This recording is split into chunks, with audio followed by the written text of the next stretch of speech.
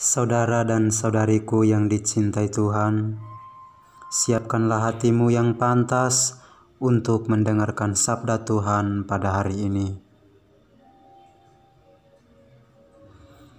Inilah Injil Yesus Kristus menurut Markus, dimuliakanlah Tuhan. Sekali peristiwa, datanglah orang-orang Farisi dan bersoal jawab dengan Yesus. Untuk mencobai dia, mereka meminta daripadanya suatu tanda dari surga.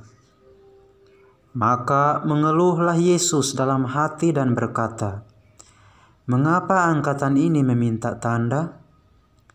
Aku berkata kepadamu, sungguh kepada angkatan ini sekali-kali tidak akan diberikan tanda." Lalu Yesus meninggalkan mereka. Ia naik ke perahu dan bertolak ke seberang. Demikianlah Injil Tuhan. Terpujilah Kristus. Saudara dan saudariku yang baik,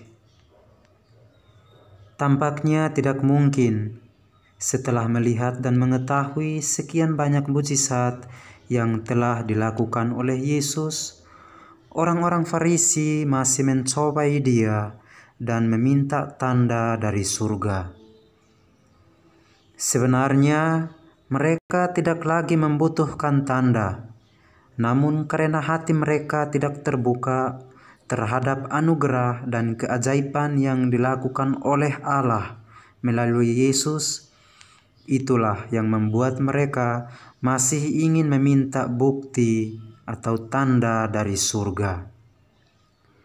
Sesuatu yang tidak dipenuhi oleh Yesus bukan karena Dia tidak mau dan mampu, namun karena Yesus ingin mengajarkan kepada mereka untuk mulai beralih dari cara berpikir mereka yang cenderung berfokus pada bukti dan tanda fisik ke arah sikap iman dan pengakuan akan kuasa Tuhan.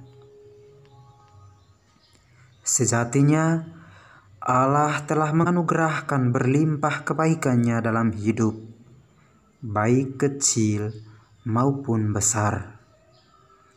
Pertanyaan refleksi untuk kita sekalian pada hari ini, mampukah kita menyadari, terutama dalam hal yang kecil dan yang sederhana dalam kehidupan kita?